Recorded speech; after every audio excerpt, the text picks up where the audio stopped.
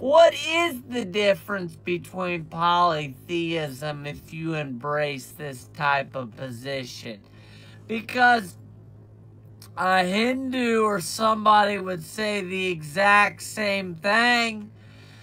Yeah, the you know these are three. They're all the all the three gods are all three distinct persons. Isn't it funny they call them God the Father, God the Son, God the Holy Ghost?